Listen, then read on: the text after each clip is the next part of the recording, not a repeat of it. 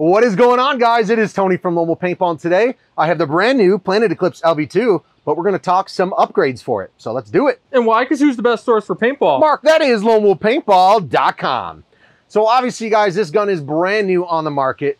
But wait, before I get into it, please hit that subscribe button on the channel. We're close to 100,000. Hit the subscribe button, please.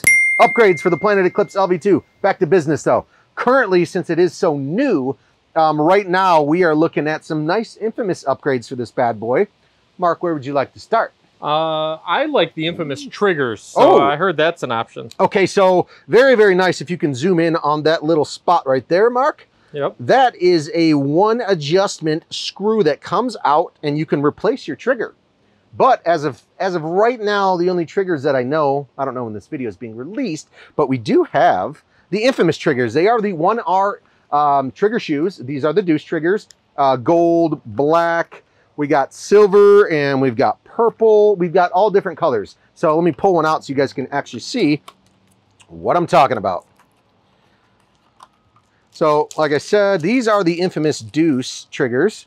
Uh, they are the 1R, so if you guys are shopping at all, this is going to be the trigger that's going to go on the actual marker itself. So if you can see there, Deuce, probably the two different humps, and it comes currently with that blade style. So let me actually flip this around, get a good hold on this bad boy. So obviously your stock blade trigger, and then you can throw that bad boy on there as well. So um, triggers aren't too much money. Check them out on the website. It's lonewolfpaintball.com.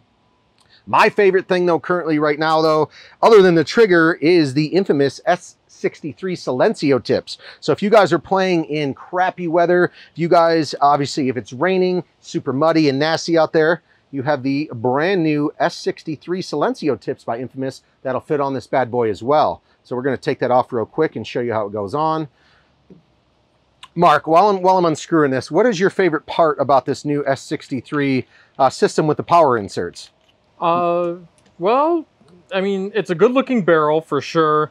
I like the ease of changing the insert without losing the whole back end of my, my barrel at the same time. So I'm assuming they're going to come out with extra inserts for cheaper than a back that I had to replace previously. They do. Uh, they do have extra inserts. Uh, I think there's five available. The extra inserts.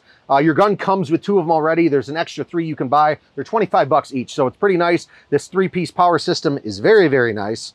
So what I mean by three-piece, obviously, you've got your your back, your tip that we're about to replace with the infamous one, and then your actual 8-inch power insert as well. So you can slide the insert back in. The cool thing about this barrel is, if you guys haven't watched our other video, the Autococker threading is on the actual back itself, unlike the previous model, the 1.6. So insert's gonna slide in.